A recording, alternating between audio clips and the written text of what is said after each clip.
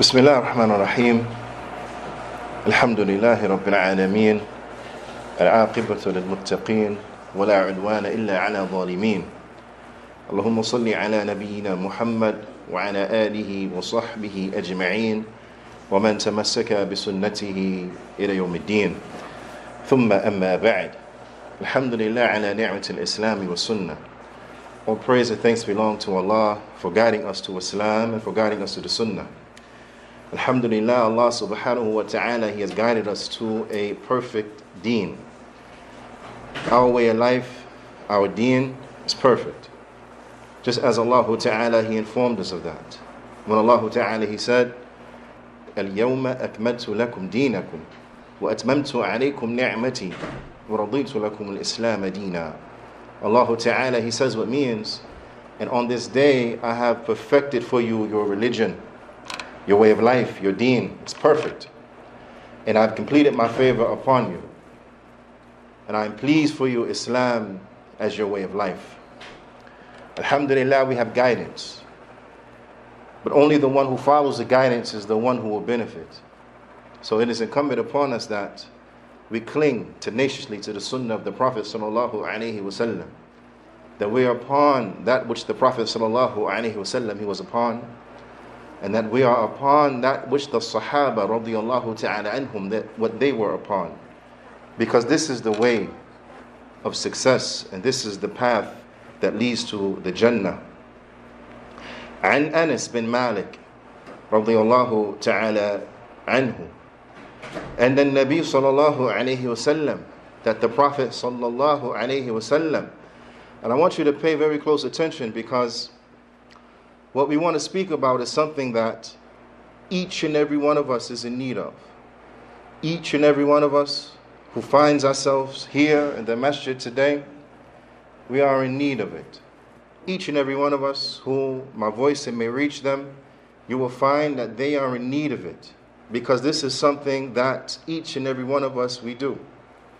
We do repeatedly, constantly, daily, sometimes multiple times a day, and for some people, a few times a week. But ala kulli hal, we all do it. The Prophet wasallam he gave us guidance in every aspect of our lives.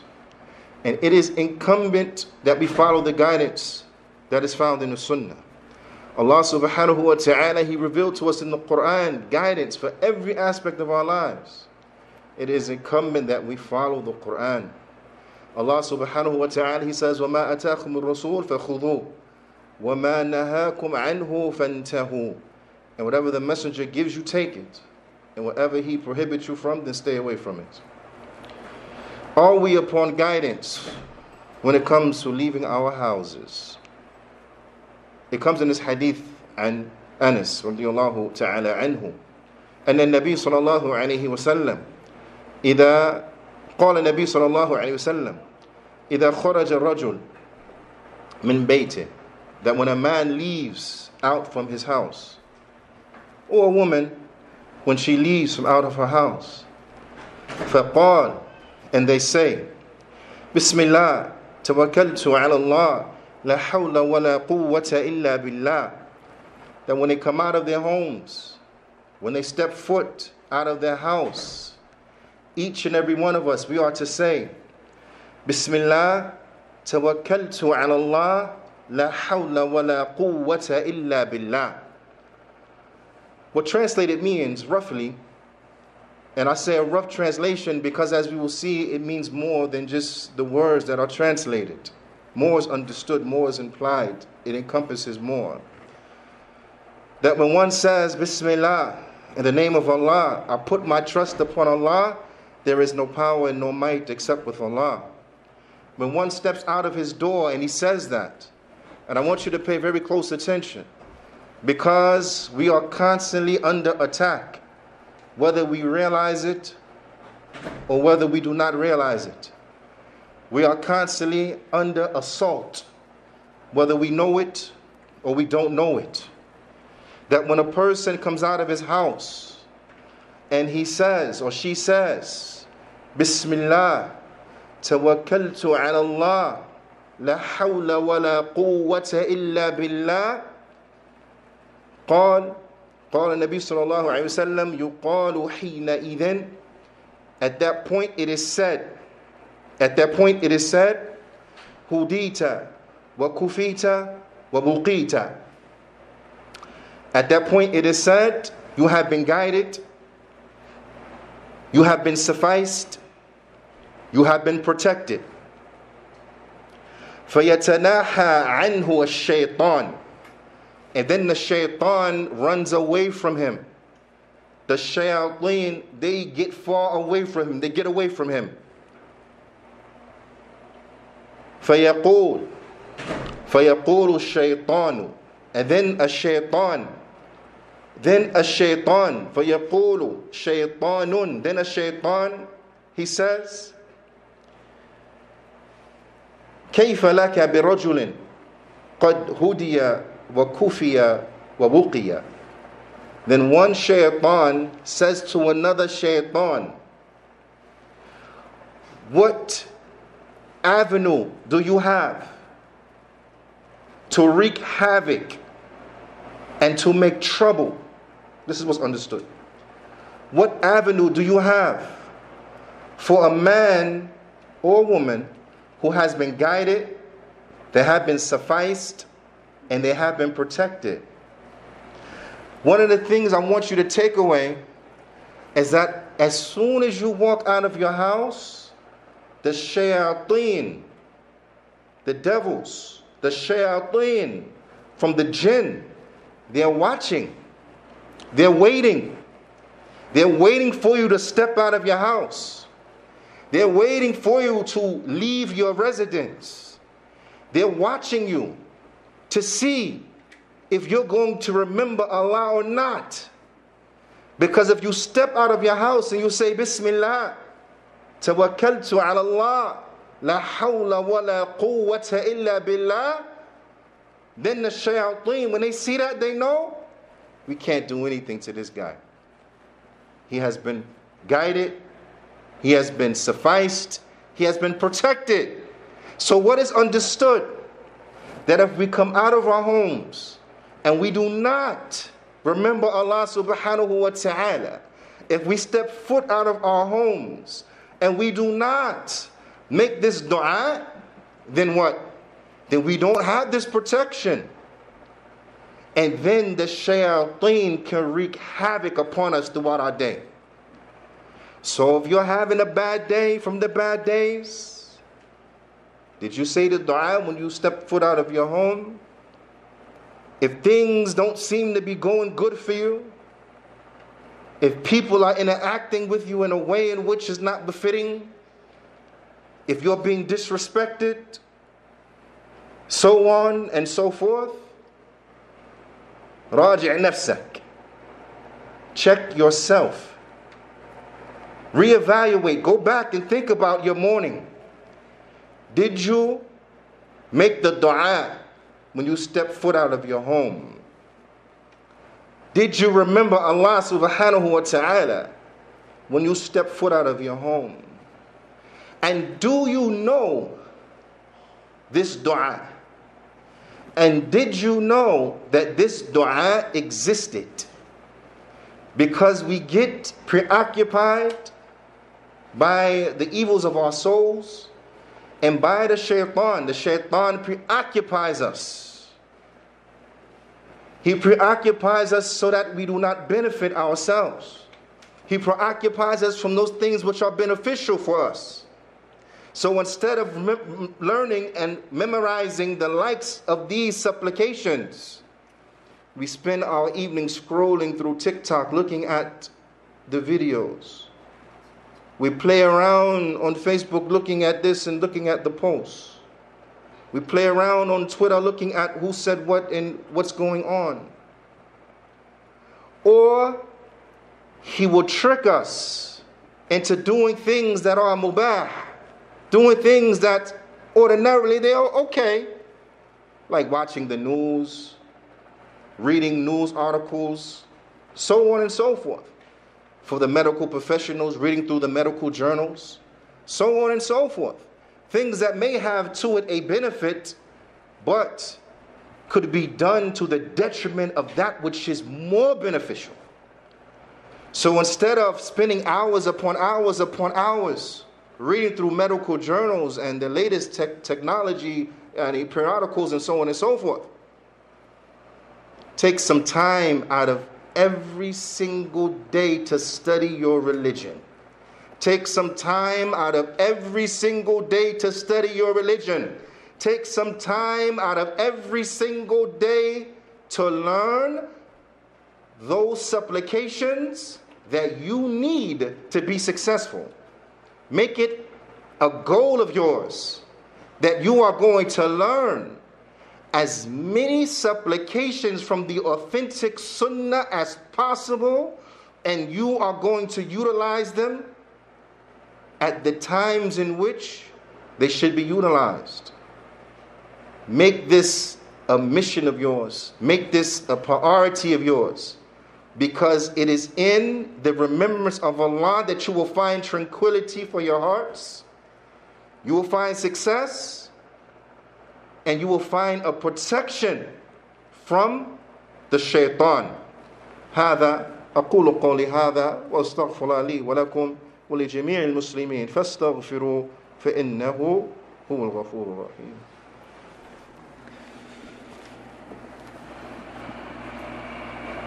بسم الله والحمد لله والصلاة والسلام على رسول الله وبعد يا عباد الله The statement of the Prophet sallallahu alaihi wasallam إذا خرج الرجل من بيته that when a man leaves out of his home أي حال خروجه من بيته meaning when he is leaving out of his home so during the process of leaving out of your home, make sure you make this dua.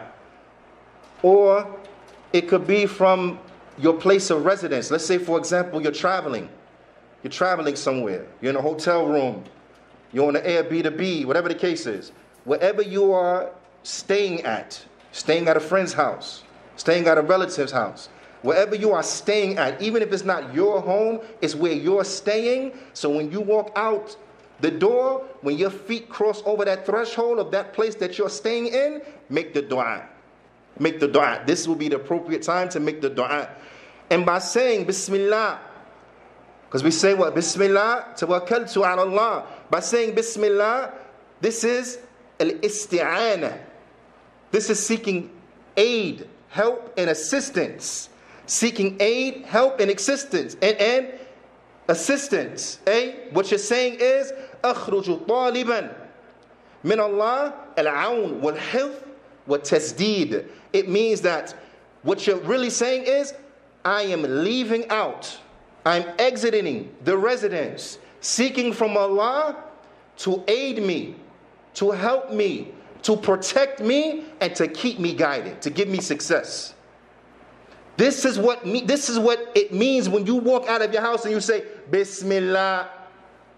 You see, that's why I said the translation is just uh, uh, an aspect. It's a surface meaning of the real meaning. And this is an encouragement for myself, and I hope for you all and whoever hears my voice to learn Arabic. Because just by the translation, you would not have gotten all of that. But we have to learn Arabic and we have to study and to seek ilm, seek knowledge. على كل حال توكلت على الله I put my trust upon Allah أي اعتمدت عليه I put full dependency upon Allah subhanahu wa ta'ala والقول لا حول ولا قوة إلا بالله and the statement of La hawla wa la quwwata illa billah hiya kalima. Islam, istislam wa tafweed. This is a kalima of true submission. True submission unto Allah subhanahu wa ta'ala. Submitting unto Allah. True submission unto Allah. And turning over all of your affairs to Allah. Because you know, there is no tawfiq. There is no success except that it comes from Allah. If Allah doesn't give you success, you will never be successful. If Allah Ta'ala does not decree it for you, it will never happen for you. If Allah Ta'ala does not decree it for you, it would never happen for you. You would never reach it. You will never touch it. You will never get it. MashaAllah can, ma lam yasha lam yakun. Whatever Allah wills is, whatever He does not will, it is not. So with that, an individual he would always be connected to Allah subhanahu wa ta'ala. He will not be connected to the means. Do you understand? The means, we have to take the means. For example, if you want a job, you have to fill out applications, you have to yani, put forth inquiries, so on and so forth. You have to build your resume, upload it to whatever site, app, whatever the case is. These are from the means. But the mu'min is never dependent upon the means because they know this is just the footwork. But whether I get the job or not, it's not dependent upon this, but it is dependent upon Allah granting me that job. Do you understand? So even with that, we never connect ourselves to anything except Allah subhanahu wa ta'ala. So when you're going out to go shopping for groceries or whatever the case is, you realize whatever I'm about to do, la hawla wa la quwwata illa billah. If I'm going to be successful today, going to be a good day for me, it's only because Allah gave it to me. So a person never becomes dependent upon themselves, never becomes yani, deluded into believing that they can do anything because they know it is all from Allah subhanahu wa ta'ala.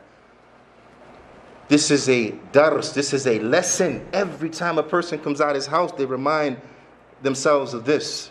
And the reward of that is that then they are protected from the shayateen. The Prophet ﷺ, because this is one of the supplications that we should make when we leave our homes. After saying this, an individual,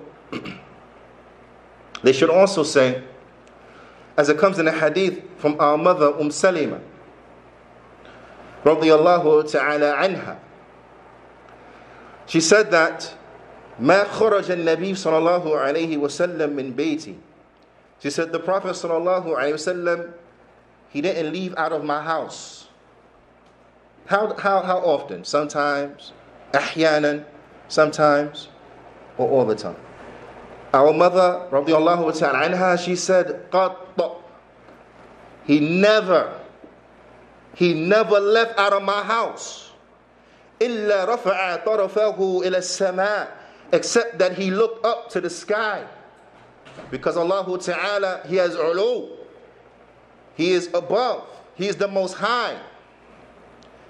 Ar-Rahman ala al-arsh sawa The most beneficent is above his throne.